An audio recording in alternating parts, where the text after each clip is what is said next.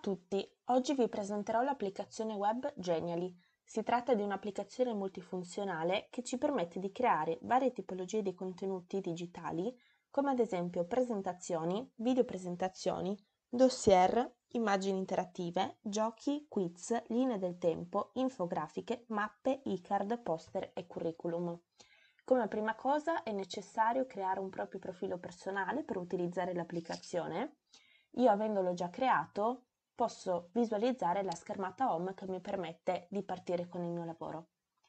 Cliccando su Create Genially mi si aprirà una vasta lista di scelta tra varie tipologie di lavori. Cliccando su presentazione mi si apre una lista di vari template tra cui posso scegliere. Utilizziamo Genial Presentation cliccando su Usa questo template una volta fatto questo posso scegliere lo stile della mia presentazione. In questo caso utilizziamo Cover cliccando su Add e così mi si aprirà la mia presentazione vuota. Come prima cosa abbiamo un titolo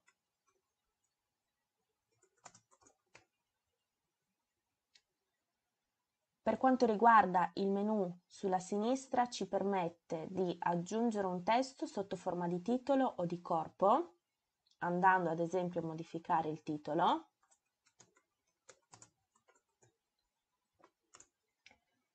Possiamo aggiungere poi un'immagine, modificando ad esempio queste che ci vengono proposte, scegliendola o dal nostro computer o inserendo un link oppure dalle immagini proposte dall'applicazione possiamo andare ad inserire delle icone, dei grafici e dei simboli, delle immagini interattive, quali ad esempio bottoni o dei bottoni con testo oppure le icone dei social network. Possiamo poi aggiungere delle tabelle e dei grafici. Possiamo inserire anche delle note audio o scegliendole direttamente dal nostro computer o inserendo ad esempio un link. Infine possiamo anche scegliere la tipologia dello sfondo selezionandolo quindi dal nostro computer, inserendo un link, scegliendo semplicemente dai colori che ci vengono proposti oppure scegliendolo dalla libreria dell'applicazione.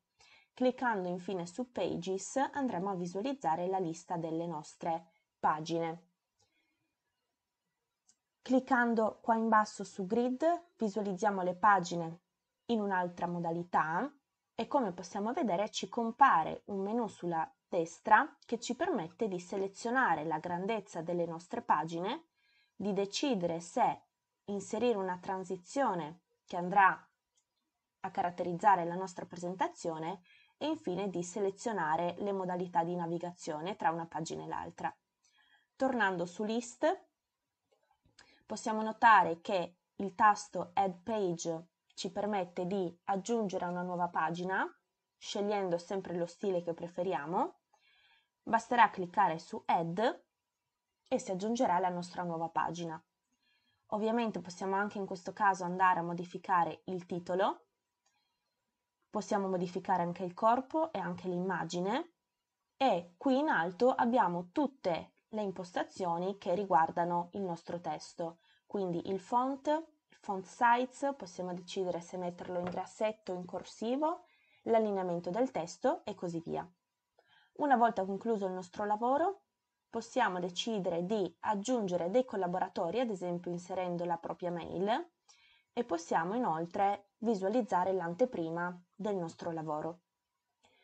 Cliccando invece su impostazioni ci vengono mostrate tutte le impostazioni del display, le impostazioni della privacy, del designer e infine i tasti che eh, ci vanno ad indicare le varie impostazioni.